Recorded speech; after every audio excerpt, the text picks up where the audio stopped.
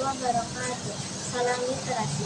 Perkenalkan nama saya Kinara Herenasa dari SDK Saya akan menyampaikan tugas literasi lekson 11 yaitu merangkum cerita fabel yang berjudul Serigala dan Kelinci yang ditulis oleh Rashid Akbar dan diterbitkan oleh Multi Kreasi 18. Serigala adalah hewan yang suka memburu kelinci. Suatu hari, Cici kelinci sedang bermain di dekatnya dan Kaya sadari serigala sedang memerhatikannya. Tiba-tiba Cici kelinci mencium bau serigala dan langsung masuk ke dalam biang. Serigala kesal seharusnya ia langsung menyantapnya.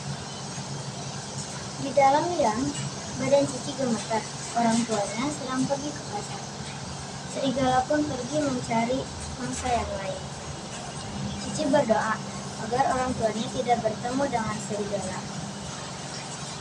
Tiba-tiba orang tua Cici pulang dan Cici langsung melupakan pintu. Orang tuanya cemas melihat Cici ketakutan. Kenapa Cici? Tanya ibu. Tadi ada serigala dan dia sedang tahu rumah kita. Sahut Cici ketakutan. Ibu khawatir dengan keselamatan kita. Esoknya, mereka berniat pindah.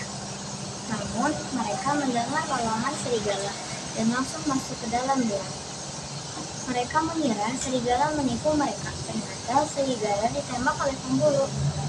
Mereka berdoa, semoga serigala langsung dibawa ke dokter dan langsung di, diobati lukanya. Sekian dari saya, terima kasih. Assalamualaikum warahmatullahi wabarakatuh.